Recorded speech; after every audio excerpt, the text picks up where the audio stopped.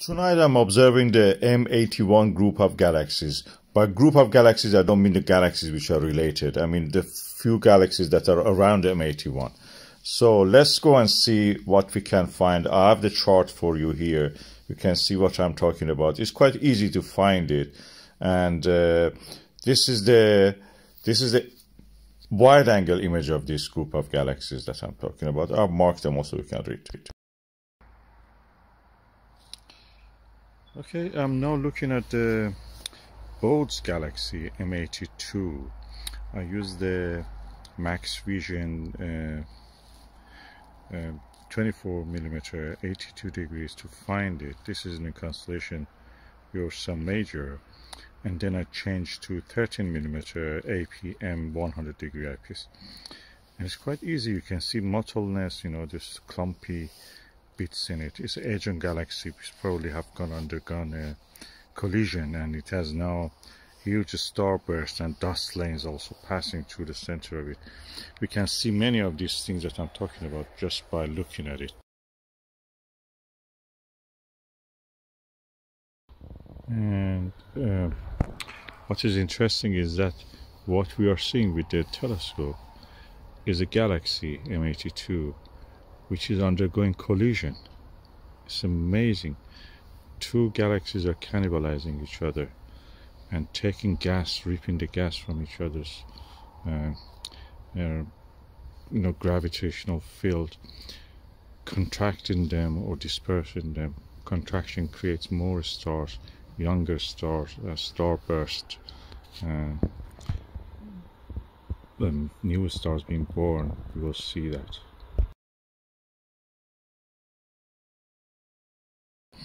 It's one of the easiest uh, targets in the night sky. So when the seeing is not very good, you can actually be sure you can see this. I've seen it even during the you know full moon, so it's easy. Adjacent to it is the M81 is a beautiful spiral galaxy, one of the few galaxies that you can actually glimpse the spiral arms of it easily. They're both bright, uh, probably even in a very dark locations you can see them with the naked eye, especially 8 M81 and uh, now I'm look using the Skywatcher 12 inch uh, 30s um, centimeter flex tube 300p uh, telescope to look at it. I'm using this shroud here as you can see. And uh, just to block the stray right lights when coming toward me it's quite bright galaxy. It's easy to see one of the easiest. Um, I had a video about this mentioning that I've observed it but not a specific one for this galaxy. So I'm hoping that this video will be really interesting.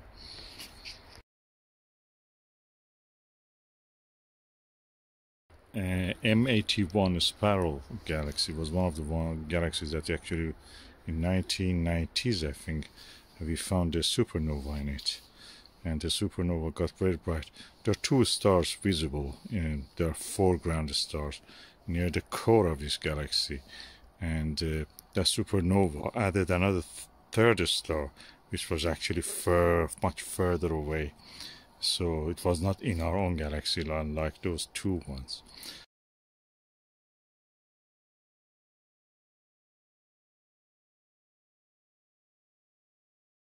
And that's the way we found that there is a new star there.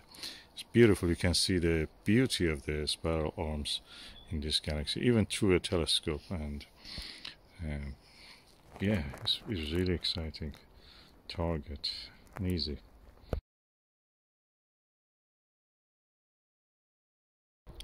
okay um, why I use the higher magnification now after finding it with a uh, finder eyepiece. Okay, the reason is that when you use a higher magnification, like a 13 millimeter or something close to that, uh, what you are doing is that reducing the area of the sky visible and practically reducing the glare or the glow of the atmosphere. Our atmosphere glows. And when you reduce the area, you're actually reducing the amount of the glow coming to your eyes, which may mean practically the is the contrast may mean that the contrast between the background of the sky and the object, the target you observe will increase. So you see the target easier. So I recommend when you want to, when you found an object, go and change to a higher magnification, lower uh, number, focal length uh, eyepiece so you can see actually more details. Um, you can use this technique for many galaxies. Of course, galaxies are very bigger object compared to the solar system objects. So uh, it depends on the target. For something like Andromeda Galaxy, I don't recommend probably using this method. But for this galaxy M81 this really works. And also M82 it beautifully works.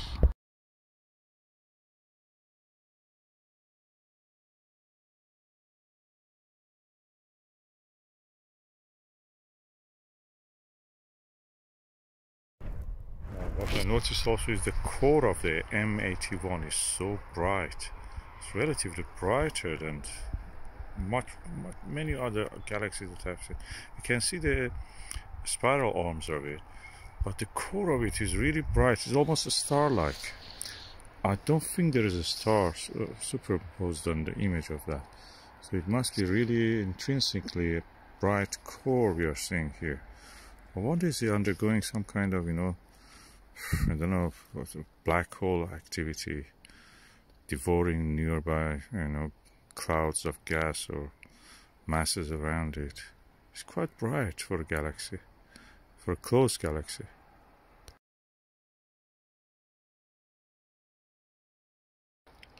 Okay, I'll move now the uh, let the uh, M81 go out of field of view and I'm seeing more nebulous features. I suspect there are other galaxies around it not related to it probably, but around and superimposed on the uh, on the vicinity of it. So I'm going to look at uh, star charts and see what they are. They're very interesting. I can see them quite easily. They are as bright as the M110 um, in the Andromeda Galaxy. As easy as as difficult as that.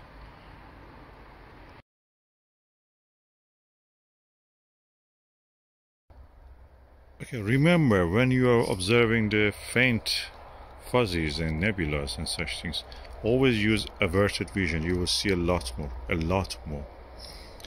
Uh, this is this makes the difference between seeing and not seeing something. So averted vision means instead of looking with the, you know, central of your view directly at the target, just roll your eyes and uh, as if you are looking to the uh, closer to the edge of the field and then the details in the center of the field will pop up into your view and you can see easy uh, very faint uh, details. Okay I changed the eyepiece now to a Maxvision 34 millimeter 68 degree eyepiece. Um, because I wanted to see the galaxies around the M81 the two stars I mentioned the foreground stars another foreground star also in this spiral arm. They make a triangle.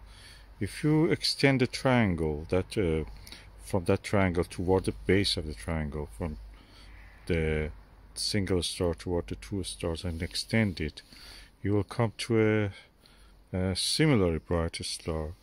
Um, adjacent to it is a another galaxy. Is a tinier version of the uh, know M81 uh, is as uh, as probably I can say that yeah the size of it angular size of it is as the core of the M81 there's a galaxy is visible there. It, it appears like a smudge nothing more than that. And uh, I wonder if I can find more details about it by looking at the literature just to see what is it what I can see it now. So it's easy to see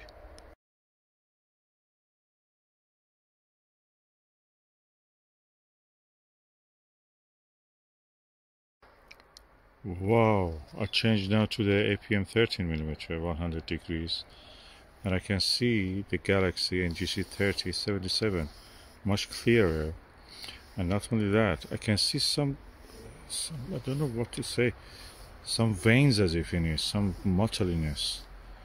Uh, it's kind of like a, a, oval, but a little bit extended in one side or two sides probably. Also, it's is strange, strange shape. These are the details you have to look for it, of course. You know, when you look for it, you will see it. It's not very obvious. You have to look, and you have to, you know, adjust your eyes to the darkness.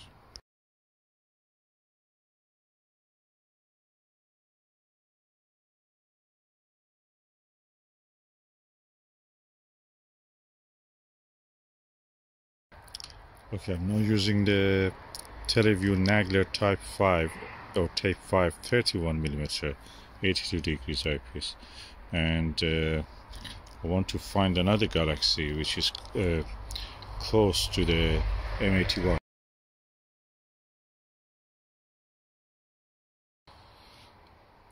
Okay, I'm now using the Televue Nagler Tape 5 uh, 31 millimeter uh, 82 degrees eyepiece. And I'm looking at the NGC 2976 Galaxy. Again close to the field of view of the M, um, M81 and M82 but lower part compared to the previous one that I mentioned. So this is quite fainter than the the one I mentioned before this. And uh, but if you follow the uh, those two stars I mentioned near the core of the M82 on the spiral arm orbit. Then you come another two, another two stars a little bit brighter, slightly lower than that. Then extend those two in the midway to the next uh, to the target, uh, and you see 29, 76. You see two another star, and then you come down. You see something like a, a 182 asterism, 82 degrees asterism of stars. Uh, quite clear. And at the middle of that angle that they make this galaxy is fainter is fuzzier is a bit more extended in at least in my view. And uh, quite not as easy as the previous one but yet you can see it if you know what you're looking. I'll provide a chart for you so you can actually know. And also a field of view uh, photo of that so you can find it easy so, so far in that area I've seen four galaxies, M81, M82 and those two fainter NGCs.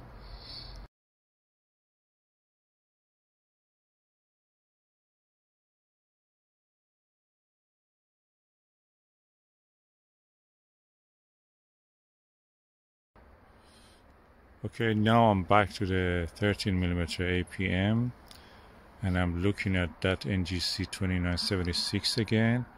And uh, I can say that there is a foreground star. Just slightly lower than that. Um, and the shape of this galaxy itself is difficult to determine. But when you look at averted vision and after adaptation of your eye to the darkness you can see the shape of it is almost like almond. Uh, if I'm not wrong in that judgment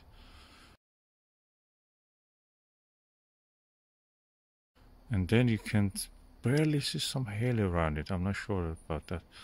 Those halos is strange. It's like a circle or semicircle surrounding it. This is strange.